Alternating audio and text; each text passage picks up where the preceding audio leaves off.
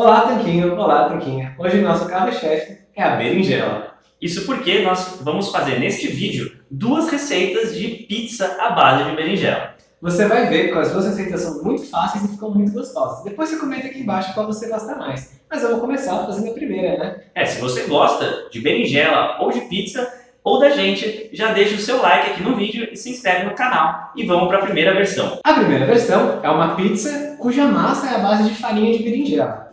Então aqui a gente tem cerca de 6 colheres de sopa de farinha de berinjela, que dá mais ou menos entre 40 e 45 gramas. Exatamente. Aí, aqui a gente vai adicionar duas colheres de sopa de azeite de oliva, extra virgem. Também vamos adicionar cerca de duas a quatro colheres de sopa de água. Então a gente vai colocando, mistura, coloca, mistura e vai vendo aí o ponto, o ponto exato da massa. Também podemos adicionar um pouco de queijo ralado. O queijo ralado é opcional, tá bom? Tanto o queijo ralado quanto o ovo. Se você quisesse, poderia adicionar um ovo também. Mas é opcional. Eu já fiz essa receita sem queijo ralado e sem ovo e funcionou super bem. Mas aqui a gente vai adicionar uma colher de sopa ou duas de queijo ralado. A gente queijo... gosta muito de queijo. O queijo ajuda a dar um pouco de liga na massa. E aí você pode fazer uma vez sem, uma vez com e, e ver o resultado final, né? Qual que você gosta mais. Então aqui a gente tem água, vai colocar e misturar e ver o ponto. Uma colher de sopa. Duas. A água é importante para a massa ficar fofinha, né? Porque a farinha de berinjela é bem seca, então ela absorve bastante água na hora de fazer a mistura. Essa farinha de berinjela tem um cheiro bem característico. É mesmo que você pode até se assustar achando que sua pizza vai ficar com esse cheiro esse gosto, mas eu garanto que não fica. Na verdade, fica muito boa. E se você nunca ouviu falar de farinha de berinjela, a gente tem um texto completo sobre as farinhas low carb mais usadas que você pode ver clicando no link aqui na descrição. Lá a gente fala quais são as farinhas, os prós e contras de cada uma, como usar, quando usar cada uma, o preço médio que você pode encontrar e até onde você pode encontrar essas farinhas que são mais ou menos exóticas, né? Você não vê na prateleira dos mercados todos os dias. Bom, a massa pegou o ponto, realmente a gente utilizou 4 colheres de sopa, cerca de 60 ml de água, e ela pega o ponto, ela fica bem consistente, bem firme. Não sei se dá para perceber aí na câmera quando eu mexo. Mas é esse ponto bem firme que a gente vai querer para massa. E agora, a gente só precisa espalhar ela numa assadeira que possa ir ao forno. Como essa daqui. É, a, tanto, a quantidade de massa que a gente fez não vai preencher inteira essa assadeira, só que como a massa está consistente, tudo bem. É só a gente abrir ela aqui e não importa quanto rendeu. É, a verdade é que vai ficar do jeito que você quiser. Se você tiver uma assadeira muito grande, você não precisa ocupar ela inteira. Exato. Se você quiser ocupar ela inteira, você coloca mais massa. Não tem segredo, é só usar a mesma proporção que a gente usou até agora que vai dar tudo certo. No caso, relembrando, a proporção é 6 colheres de sopa de farinha de berinjela para 2 colheres de sopa de azeite para 2 colheres de sopa de queijo ralado e 4 de água. Bom, até acho mais recomendado agora abrir essa massa com a mão. Vai ficar mais fácil. Para né? você poder modelar ela do jeito que você bem entender. Então a gente vai modelar a massa aqui. Depois vamos levar ao forno pré-aquecido em temperatura média por cerca de 10 a 15 minutos para a massa já pegar um pouco de consistência. Aí depois a gente tira do forno, recheia e volta lá. A gente já vai te mostrar esse passo. Primeiro vamos terminar de abrir e deixar a massa assar no forno. É, fica com a gente porque a gente já vai mostrar a nossa segunda versão da pizza à base de berinjela. Ela consegue ser ainda mais fácil que a primeira, então você não perde tudo esperado. Bom, assim ficou a nossa massa espalhada, não está redonda justamente porque não chegou às bordas da assadeira. Mas a gente vai assar e vai ficar gostosa do mesmo jeito. Então vamos assar e te mostrar o segundo jeito de fazer pizza.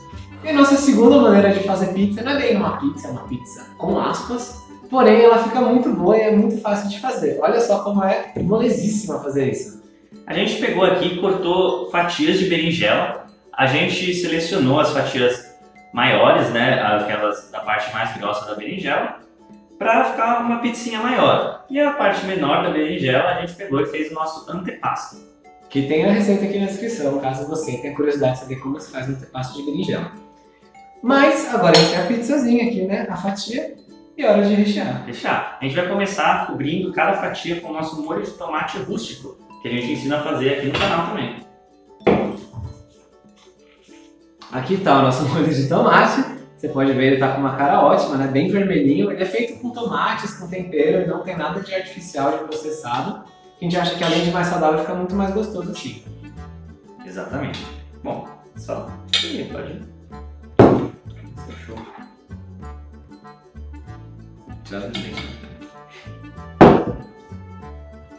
Então a gente cobre de maneira liberal aqui as, as pizzazinhas.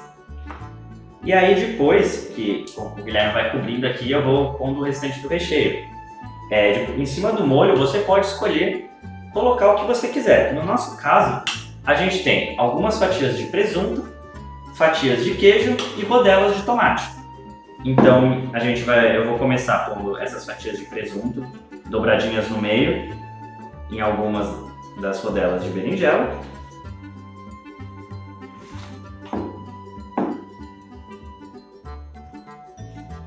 E vou colocar fatias de queijo em todas as pizzas. Mas é claro, você pode criar a sua versão da pizza com o recheio que você quiser. Esse molho é ótimo. Esse molho fica bom até como acompanhamento de outros pratos. Né? É, você pode fazer uma carne assada, colocar um molho em cima, você pode fazer um macarrão de abobrinhas, esse molho ele fica muito bom mesmo. Então, é, pra, a gente pode mostrar aqui várias opções. Né? Tem essa aqui que tem, vou até mostrar pra vocês. Aqui tem umas que tem o presunto e o queijo, aqui tem umas que tem só o queijo, aqui tem umas que tem dois queijos. Dá pra você usar outros tipos de queijo junto também, fazer diversos tipos de cobertura, vai do seu gosto mesmo. E agora a gente vai colocar rodelas de tomate aqui para enfeitar um pouco. Depois disso, é só levar ao forno e esperar o queijo, uh, o queijo derreter né, e a berinjela assar um pouco. Você pode também cobrir com queijo ralado, por exemplo ali, você pode esperar ela assar primeiro para fazer isso. Você pode temperar com coisas como orégano, a gente vai te mostrar como que a gente vai fazer. É só ficar queijo ralado? Podemos, podemos. Bom. A gente coloca um pouquinho de queijo ralado. Aqui a gente tem um pouco de manjericão também, vamos salpicar. Deixa eu melhorar a boca.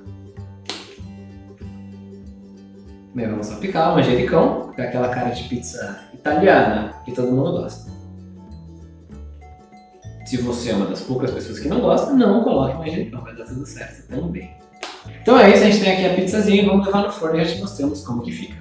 Bom pessoal, passado 15 minutos aproximadamente, temos aqui nossa massa. A gente tirou do forno, vai rechear essa aqui, enquanto isso a outra pizzazinha de berinjela tá lá no forno fazendo. Então vamos começar com o nosso molho de tomate rústico, que é imprescindível. Para uma boa pizza, é imprescindível. É claro que você não precisa fazer esse molho, você pode colocar direto o queijo, ou, dependendo, você pode usar um pouquinho do molho pronto já, que a gente não recomenda porque ele vai açúcar e às vezes até amido. E é menos bom que esse. E é menos bom. Agora a gente tem as duas pizzas prontas, né? Você viu as fotos que a gente mostrou agora. E a gente tem aqui tanto a de massa de berinjela quanto a com a berinjela em rodela. Vamos comer e Vamos ver, ver qual que é a mais gostosa.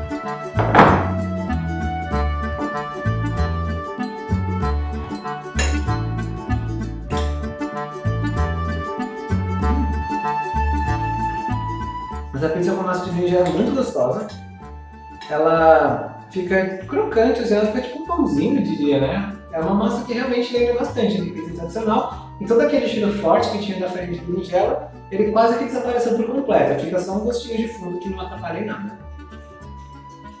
É, a de berinjela fica muito boa, fica bem parecida com pizza, como o Guilherme disse.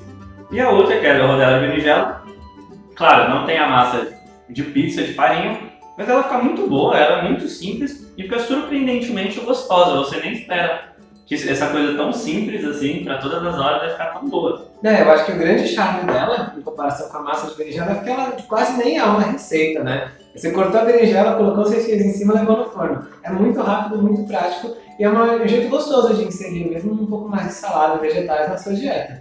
Para que o ideal é que você um dia consiga comer sem ter que colocar um monte de queijo em cima. Mas nesse primeiro momento a gente pode aproveitar receitinhas gostosas como essa. Bom, e se você gostou dessas receitas, e principalmente dessa de farinha de berinjela, então você não perde por assinar o nosso Box Locab, porque os assinantes receberam neste mês a receita nas suas casas. É verdade, a gente mandou essa daqui, mandou mais uma outra também, que são sempre duas receitas locais uma boas. E claro, a gente vai fazer o vídeo ainda mostrando como que, que, que veio no box exatamente, os brindes que a gente separou e tal, e como que você pode saber mais sobre ele. Mas se você não quer mais perder tempo, se você quer receber os ingredientes na sua casa, todo mês você vai ter uma caixa, vai chegar na sua casa, vai ter cheio de ingrediente bom, duas sugestões de receita, e você vai se deliciar, vai surpreender seus amigos e vai ter mais sucesso ainda com a sua dieta low carb. Então faça parte do maior clube de assinaturas low carb do Brasil, o Box Low Carb do Seu Tanquinho. Assista o vídeo que a gente separou para você, que tá ali à direita, uma receita deliciosa que você vai gostar muito. E se inscreva no nosso canal no Tanquinho ali no canto da tela. A gente se vê toda segunda e quinta às 20 horas. Um forte abraço Do Senhor Tanquinho.